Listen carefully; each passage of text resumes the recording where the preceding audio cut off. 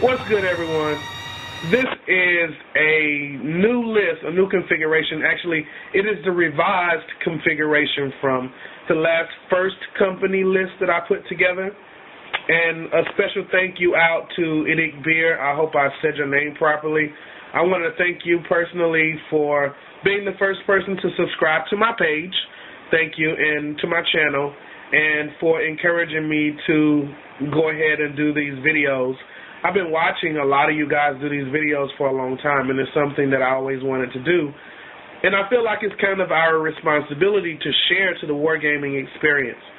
So one of the things that I've done here is I took your advice. I did go back and I made some revisions, but I made I actually made a lot of revisions to this list.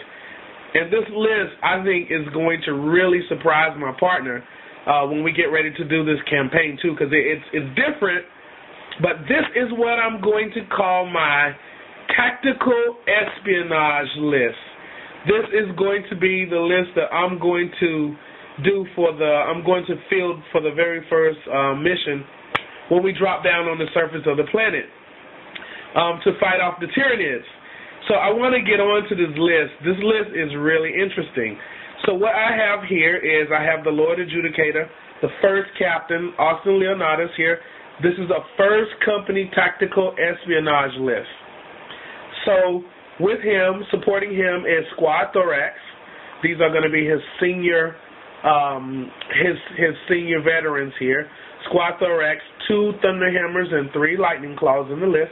They're going to be riding in a Storm Raven.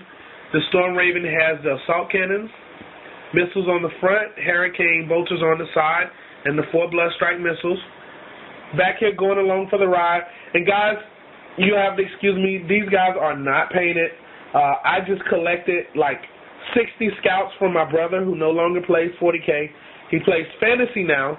He had a whole slew of scouts that he didn't want, and he just gave them all to me. So I'm going to be stripping the paint down and repainting them all. But just to illustrate this list, I wanted to show it to you.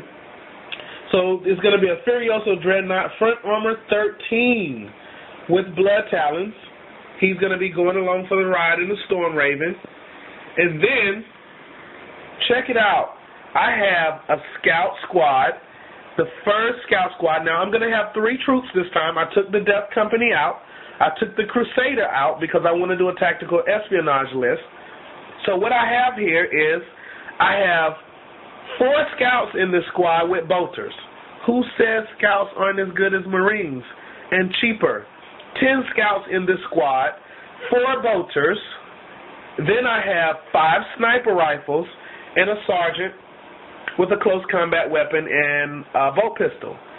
But then again, back here in the back, I have another scout squad, eight sniper rifles in this squad, heavy bolter, sergeant with power weapon, plasma pistol.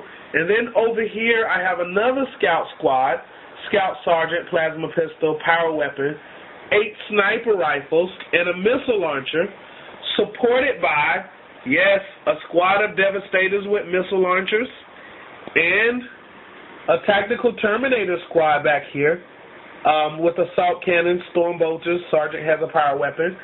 Now here's the big kicker. I I went up and I've been playing this game since '97, and the very first army that I played was Dark Eldar. Um, at, during that time, Dark Eldar, for those of you who was around, they came in like the starter kit with Space Marines. But when I started playing Chaos, I had a whole bunch of. This is back in '99. I started having. I had a whole bunch of Berserker models. I stripped. I took about five of them and I just stripped them apart because I didn't. um I I really just didn't want to drive where I live an hour out of the way to go and buy um, some models for to make a Vanguard veteran squad. So I just stripped some of my berserkers apart, and I made these conversions. Now I went online and I got these pre-heresy jump packs for veterans. Veterans would still be sporting the old gear, um, especially for Flesh Tearers since they've been in the chapter for so long. So these veterans here, power weapons, I got them um, running so we got three power weapons and a sergeant with a power fist. uh, with the jump packs. They're going to do my um, heroic intervention. So, guys, here we go. This is the list right here. Um, I think that this is going to be interesting. All three scout squads are going to be infiltrating near the objectives. Just like the strategy I showed you guys before in the video, they're going to be close enough to support each other and to support the assaulting unit. 21 sniper rifles in this list, guys. 21 sniper rifles, two assault cannons, five missile launchers, lightning claws, thunder hammers, power weapons, everything deep striking with the exception of uh, the Devastator squad and the snipers. Um, the snipers, the the scouts are going to be infiltrating. They're all going to have locator beacons, so my Terminators can come down and support them. The Storm Raven will be able to come down and lend the fire. The guys can jump out and make the charge, get back in the Storm Raven and keep rolling. Same thing with my with my scouts with the locator beacon. I can bring down my my um, vanguard guys right in front of them within six inches, make the assault charge, and, and just keep moving. I think that this is a really exciting list. So uh, I'd like to know what you guys think, and please, by all means, test it out. Subscribe uh, if you like it. Um, let me know that you like it. Give me your thoughts. I think it's I think it's it's definitely interesting and um and it's gonna definitely surprise my partner. Now I haven't play tested this list yet, um, so I don't know what it's gonna feel like and how it's gonna play. Um, just from looking at it, it's definitely not fluffy, but with 21 sniper rifles and missile launchers, I have a range of 48 inches from the first turn. So I think that this list is going to really, really surprise him, and it can definitely put down 21 sniper rifle fire and five missile launchers per turn. So it's going to definitely have a lot of punch, and it's going to provide enough cover fire for the three assaulting squads that I have here. With the Storm Raven fire lended to it, I think I think it's going to be okay.